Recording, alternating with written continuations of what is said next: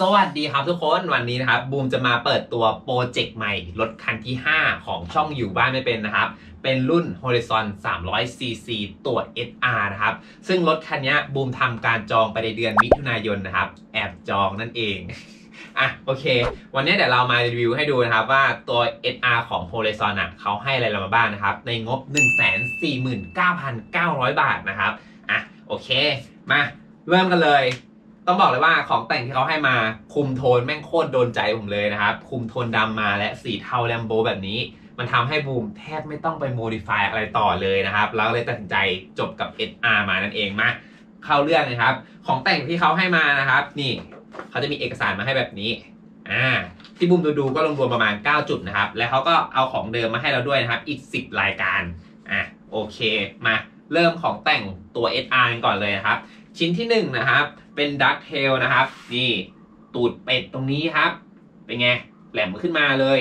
ถ้าเป็นรถเดิมๆ มันจะไม่มีตัว ducktail ตัวนี้มานะครับ ก็จะแบบเรียบเนียนลงไปนะครับ ต่อมาครับ ชิ้นที่ 2 ครับ shell cover นะครับ นี่จะอยู่ตรงนี้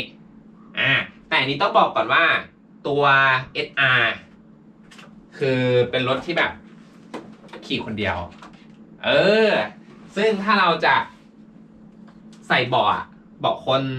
เขาเรียกอะไรเบาะคนซ้อน ซึ่งของเดิมเขาให้มานะครับ แต่ตัว SR เขาไม่ได้ใส่มาให้ เพราะว่าเขาใส่ตัวนี้มาตัว ducktail นี่เป็นตัวครอบที่ปิดไว้ ถ้าเราจะขี่สองคนก็คือเราก็ต้องถอด ducktail ตัวนี้ออกอ่าแล้วก็เอาเบาะอีกตอนนึงอะมาใส่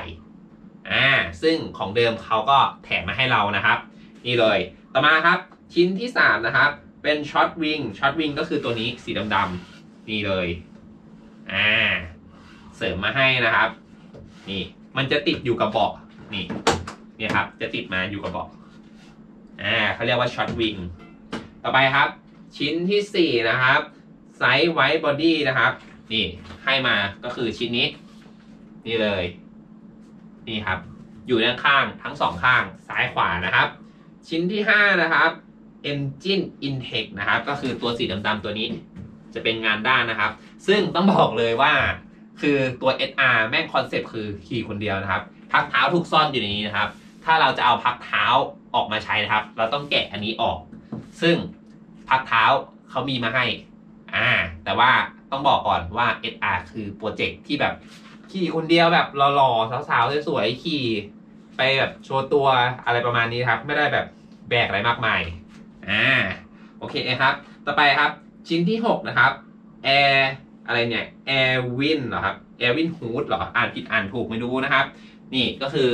ชิ้นนี้ นี่ชิ้นที่ 6 อันนี้น่าจะเป็นแบบช่องลมครับ นี่ ลมก็จะเข้าช่วงนี้ได้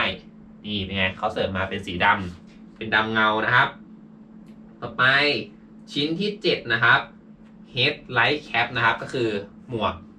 นี่เลยชิ้นนี้ อ่า อันเนี้ยคือผมชอบนะ เพราะว่าบางทีอะเราจะได้ไม่ต้องแบบมาโดนไฟตรงโคมไฟเราสะท้อน เพราะไฟเขาอยู่สูง นี่ครับเขาก็ทำตรงนี้มาให้ เป็นหมวกปิดให้เลย เป็นสีดำเงา อ่าต่อไปครับ ชิ้นที่ 8 ครับ front aero นะครับ จะอยู่สองข้างครับ นี่ซ้ายกับขวา อันนี้ช่วยเรื่องลู่ลม นี่ อ่า front aero ต่อไปครับ ชิ้นที่ 9 นะครับ จะอยู่ข้างล่างนะครับ under cowl นะครับ นี่ข้างล่างนี่เลย นี่ ก็คือเหมือนเป็นตัวเหมือนแบบสไตล์ adventure ประมาณนั้น คือเหมือนเป็นคางยื่นออกมานะครับ ก็ให้เรามาประมาณ 9 ชิ้นนะครับสำหรับตัว Horizon 300 SR ซึ่งของเดิมเขาก็ให้มานะครับ ให้มาทั้งหมด 10 ชิ้น พักธงพักเท้ากระจกก็ให้มานะครับ แต่สภาพเขามาตอนส่งรถคือเขาไม่ได้ใส่กระจกมา คือต้องบอกก่อนว่าตัว Alpha Horizon ตัวเนี้ย คือมันเป็นสไตล์แบบ จะบอกยังไงอะ่ะ เหมือนจะซิ่งอะ่ะ ออกทรงซิ่งเลย แต่มันมีความหล่อในแบบที่ผมคิดว่า สไตล์ทัวริงอย่างผม น่าจะ modify ได้ ก็เลยจับคุณชายครับ ใช้คำว่าคุณชายเลย มาลอง อะ โอเค ก็ประมาณนี้นะครับ อะ มาดู การใช้งานแบบคร่าวๆนะครับ กุญแจให้มาสองดอก นี่พับได้ปะนี่พับได้แบบนี้ นี่เป็นไง ดู เท่ปะล่ะอะโอเค เปิดครับอ่าตัวไม้นะครับ จะมีตัววัดรอบเครื่องอยู่ข้างบน แล้วก็เป็นดิจิตอลที่แบบว่า กี่กี่กิโลเมตรต่อชั่วโมง แล้วก็จะมีความร้อนบอก แล้วก็มีกิโลบอกแล้วสามารถจับทิปได้ แล้วก็จะมีน้ำมันบอกอ่าก็ประมาณนี้นะครับ ส่วนตัวประกับนะครับ ประกับฟังก์ชันแต่อ่าก็เป็นแต่น่ารักน่ารัก ตรงนี้ก็จะเป็นไฟต่ำไฟสูงอ่าโหไฟเขาให้มาดีนะครับ แล้วก็นี่จะเป็นพาร์ทไฟให้พาร์ทไฟมานะครับ นี่นี่ก็จะเป็นไฟเลี้ยวอ่าเลี้ยวซ้ายเลี้ยวขวาส่วนฝั่งนี้นะครับ ก็จะมี อันนี้ผมจำไม่ได้ว่าเรียกอะไรอะ เออที่แบบว่าเราไม่ต้องเอาขาตั้งลงแล้วกดปุ๊บแล้วรถมันจะดับอะ อ่า โอเค แล้วนี่คืออะไร อันนี้คืออะไรอ๋อเป็นไฟฉุกเฉินนะครับ ก็คือเปิดปิดแค่นี้อันนี้ก็จะเป็นปุ่มสตาร์ทอ่า ซึ่งผมจะไม่สตาร์ทในห้อง โอเคนี่แล้วเวลาเปิดเบาะนะครับ บิดแบบนี้ นี่ ซึ่งเบาะต้องบอกเลยว่า อันนี้ให้มาตั้งฉากเลยก็ก้มเก็บได้ง่ายนะครับ ส่วนขนาดผมตีไปว่า หมวกกันน็อก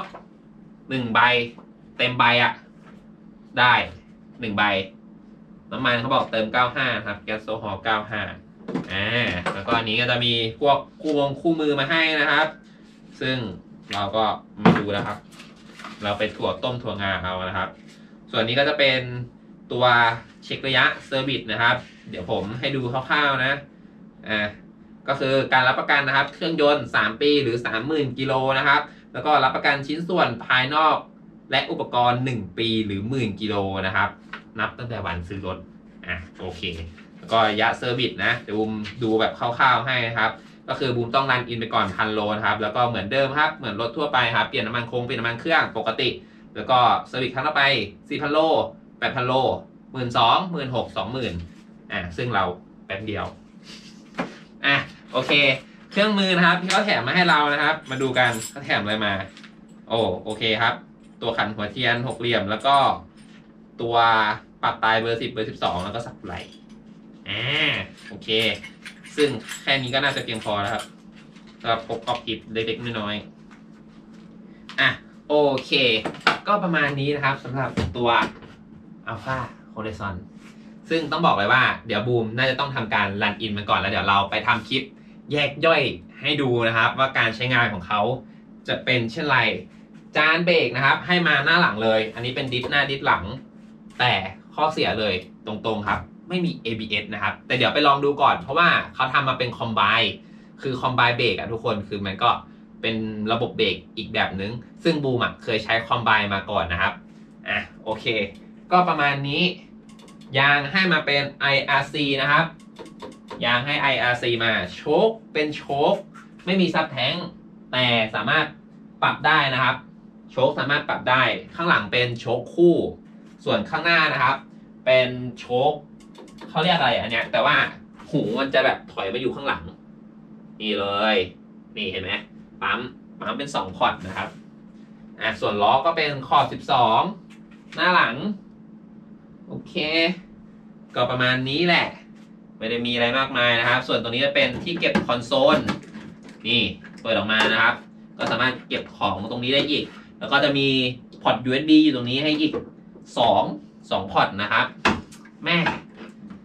เดี๋ยวลองดูกันว่า มันจะเป็นยังไง แต่เดี๋ยวขอเวลา run-in มันก่อนนะครับ สักประมาณ 6 7 0 0 โล ให้ลูกทรงลูกสูบเขาโอเคก่อนเดี๋ยวเราไปซัดให้ดูว่า top speed ของ Horizon 300 cc มันให้เราได้แค่ไหน อ่า อะ โอเคครับ EP นี้ก็ไม่มีอะไรมากครับ มาเปิดตัว